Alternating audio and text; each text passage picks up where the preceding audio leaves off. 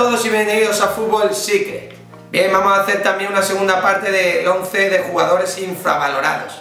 Que como dijimos anteriormente, hemos cogido lo que los suscriptores han ido diciendo y entonces vamos a dar vuestro 11. Nosotros ya lo hicimos, tuvimos nuestras críticas y ahora pues vamos a poner el vuestro. En la portería estará... Ospina. Pues verdad, le quitaron el puesto, le dieron el puesto a Peter Cés y Ospina pues demostró que no era malo. Ha habido otro portero también que habéis por votación pero ha quedado segundo, que era... Oblak.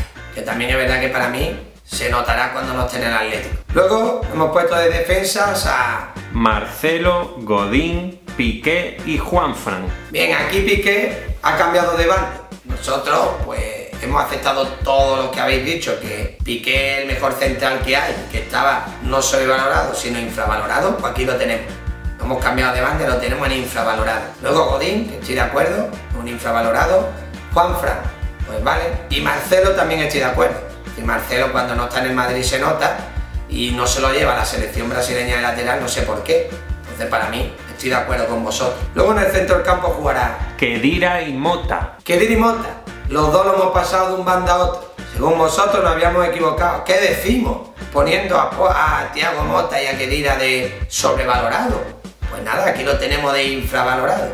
Según vosotros, los suscriptores, estos dos jugadores son muy buenos y están muy poco valorados en su equipo. Por delante jugarán Silva y Di María.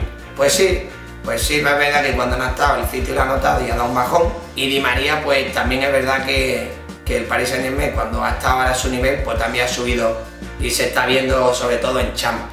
Entonces esos dos pues sí, son dos jugadores que pueden aparecer. Y como delantero, Griezmann y Aduriz. Griezmann y Aduriz. Aduriz para mí se puede poner, pasa que yo creo que hay delanteros más infravalorados y más importantes, pero bueno, para los que sean del Bilbao, pues está claro que este es el más importante que hay. Y luego Griezmann, pues sí, se nota cuando no juega en el Atlético de Madrid.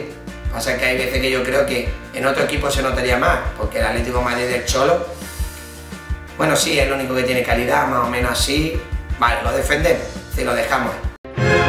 Bien, pues este es vuestro 11 de infravalorado. Ahora ya os toca comentar a vosotros si estáis de acuerdo con los mismos suscriptores, entre vosotros, con lo que habéis dicho, o si había, hacía falta de poner otro. Nos vemos en el siguiente episodio de Fútbol Sick.